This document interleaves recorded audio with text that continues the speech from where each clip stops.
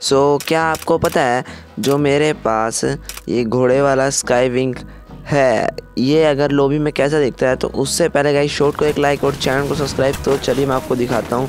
सो so, ये देख लो guys कितना ज़्यादा ओपी लग रहा है आसमान में आने के बाद और नेक्स्ट लेवल लगता है भाई आसमान में आने के बाद। तो चैनल को सब्सक्राइब और वीडियो को लाइक कंफर्म करना यार मतलब एक नंबर और आप लोगों की डिमांड थी ये देखने की तो तुम्हारे भाई ने मतलब यहाँ तुम्हें दिखा दिया इस वीडियो में। तो मिलता हूँ नेक्स्ट शॉट के अंदर तब तक के लिए लव यू और